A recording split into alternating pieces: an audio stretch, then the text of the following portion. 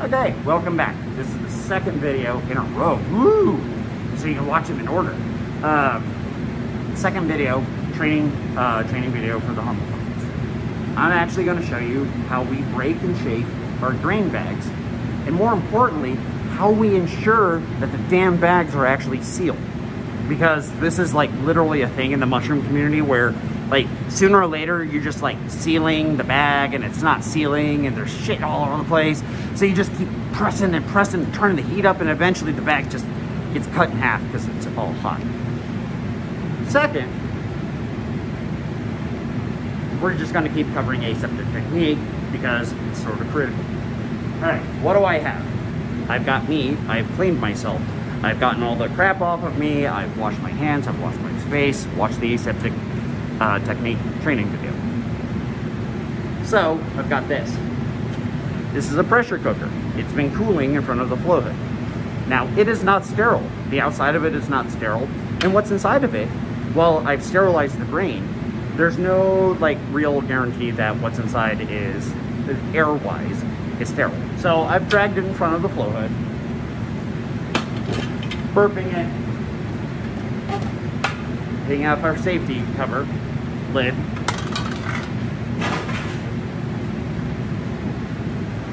Now, we've got six bags in here.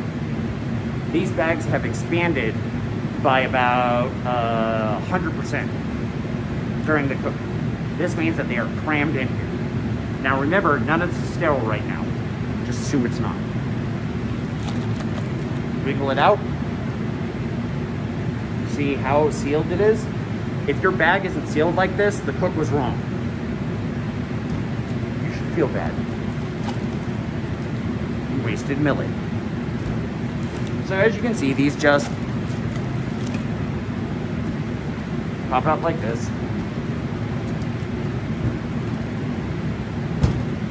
Done. Okay. Now, I just took a sterile workstation to sterilise everything else.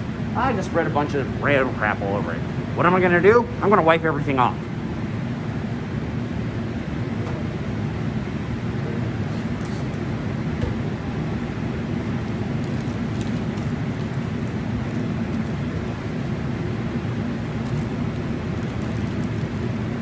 Why am I doing this? Overabundance of caution. It's sort of like one of those things where uh, we as human beings are really shitty at assessing risk uh, and danger. Um, and so what we tend to do is we tend to fall on our own heads and we're like, okay, I'm in front of a flow I've sprayed ISO all over the place, now I'm clean. The problem is that you're not thinking about risk factors. Like, did you blow your nose? Did you leave crumbs of stuff in your beard? Did you comb your hair like the scene in Gattaca where he's got the stone and he's like rubbing all his loose skin and everything off in the shower and lighting it on fire so it doesn't get caught? I watch a lot of movies.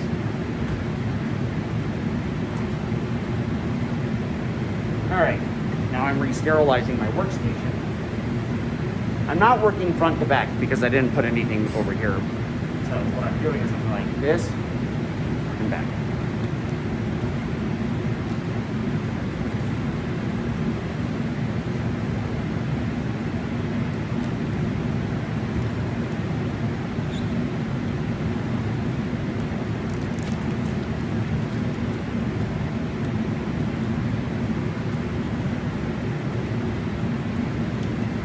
All right. Now, I've got my grain bags. I'll actually lower this so you can see exactly what I'm doing. Grain bags are set aside. They are still vacuumed. See that? Solid as a rock. Now, when you pull these out of the cook, your first instinct may just be immediately seal them. Do not do that. It will not work the way that you think that it works. Let me demonstrate. See this? This is a bag fresh out of a cook. Right, you can see there's grains all over the place, but there's little spots here at the bottom where the grain popped or it got over soaked or it got superheated. This is normal. Pop grains and things like that happen. It's okay. The mycelium doesn't really care. But what do we have? In this bag, we have a thousand grams of pure white millet. We have 500 grams of water. That is precise. Okay, there's always going to be 500 grams of water and a thousand grams of millet. What the difference is, is if you take these out of the pot and you seal them and you do not break and shake, there are two things that are immediately working against you. Number one, the moisture is not evenly distributed in here right now. You've got dry grains, you've got wet grains. The first thing you need to think about is how do you equalize? How do you spread all of those grains all over the place so basically the moist ones are touching all the dry ones and the dry ones are touching the moist ones and everything equalizes. That's number one. Number two, the reason why growing with millet and other smaller, smaller grains gets a bad rap in the mycology community is because there's quote unquote no air in between the grains. Well, if you take something and you suck all the freaking air out, e.g. a vacuum, of course there's no air between the grains. So what do you do? Well, you could take this compressed brick of millet, inject it with a bunch of LC and pray. Or you can give your mycelium a really good place to start. That's why we break, shake, and we make it nice and airy, and we equalize everything. Let me show you.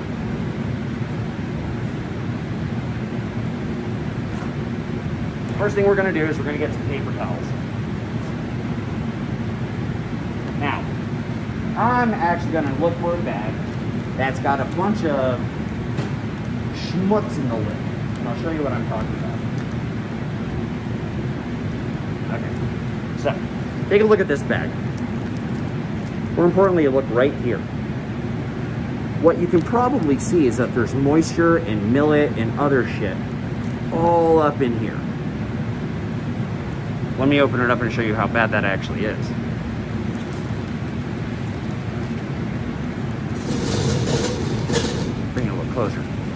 See all that? If I were to take this bag as is and try to seal it, it would never seal. Ever. Like, no matter what I do.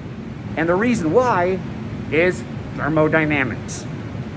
God, I love that shit. Why? An impact sealer works off of a basic principle. If you superheat something really fast, it will melt.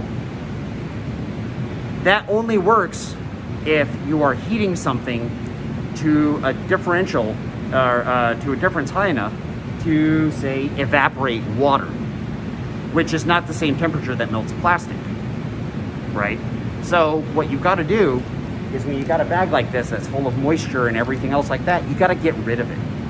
Otherwise, what will happen is your impact sealer is busy trying to boil off the water, cook the millet that's probably in your seal, uh, and melt plastic around a bunch of like dirt, rocks, and dust, and what, what God, God knows what. In other words, no matter how many times you run your impact sealer or how hot you get it, well, you can get it hot enough to seal the bag, don't get me wrong. But you have a higher chance of melting the bag. This is why we do the following take the bag. I'm actually going to re-sterilize myself because I've been touching everything. See, wet ISO, wet ISO, dry the ISO. Dry the ISO, dry the ISO, dry the ISO. All right, here's the bag. Lift it up. Now, notice this is a vacuum. I'm turning this upside down and I'm shaking it. Nothing is happening. It's because the air, all the air got sucked out. It's not because millet is such a small grain.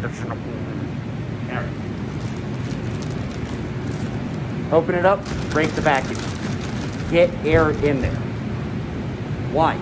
I'm in front of a flow hood. This is first air. The principle of first air is if I'm exposing something that I've sterilized in front of a flow hood in a sterile environment, the air that goes in the bag is sterile. All right, clean paper towel. You're going to take that paper towel and you're going to shove it in and you're to wrap it around the first couple of inches.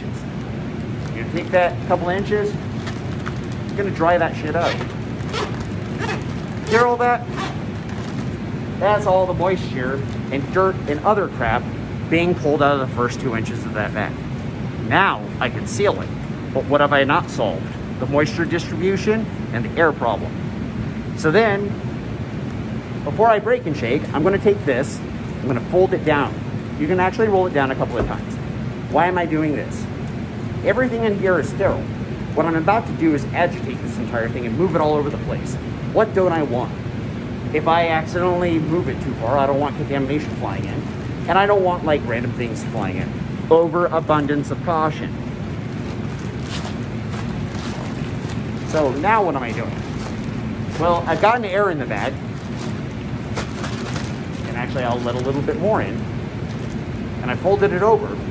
Now what I'm doing is I'm breaking and shaking it. So I squeeze down here to break up, break up the uh, wet stuff. Then I'm going to use physics in my favor.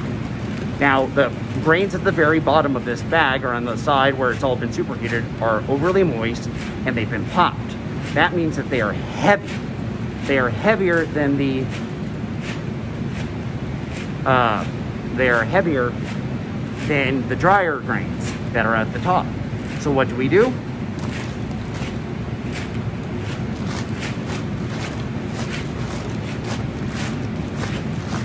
Notice I'm squeezing, I'll slow it down. Squeeze. You even let it drop a little bit.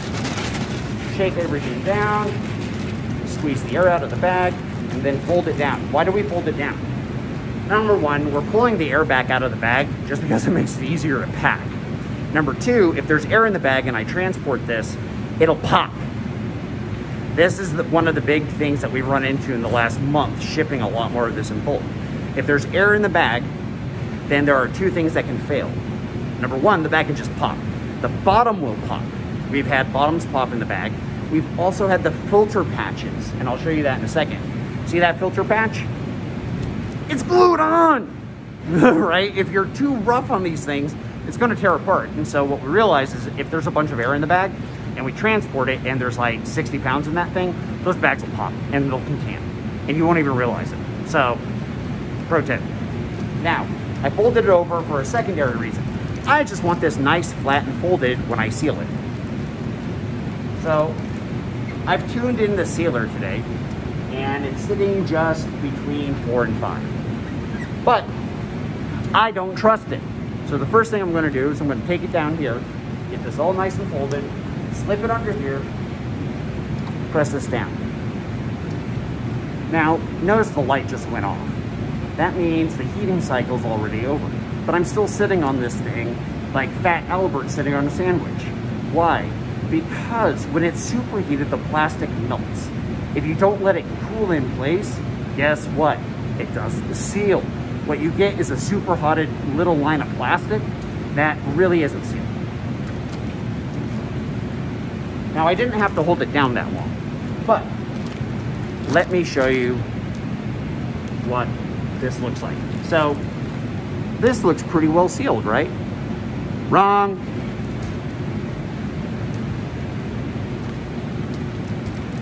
See that?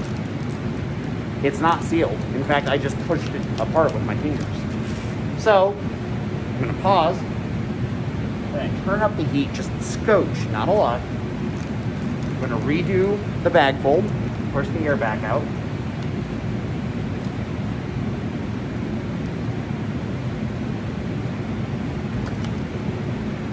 Now, turning up the heat got that seal to actually seal, right? See that? It's sealed now. And you can tell because it's actually got a texture, right? This impact sealer has this nice little ridge down here. It actually leaves a really nice texture that you can feel through the gloves every time you do a bag seal. So this bag is in theory sealed. Here's the problem with this. That's one seal that we've done. And we already know eh, seals are the weakest link. Behind the filter patch, seals are going to be your weakest link dealing with brain things, right? So, what we do is we take and we move it about a quarter inch up and we do another seal. So now we're at two seals. Now this is on the same side. I haven't put the bag yet. All right. Now we got a second seal. See that texture? So I've been laying the bag like this. We're gonna do one last seal. Now you can add as many seals as you want, but here I flip the bag over. Now if you think about melting plastic and things together, if you do it all on one side, the layer on the reverse side never actually has a lot of heat applied to it. So by flipping it, what we do is we have both sides um, actually have direct heat applied. So in that way, it'll actually melt into place and seal the bag like tight as a tight as a friggin' bolt, right? So here.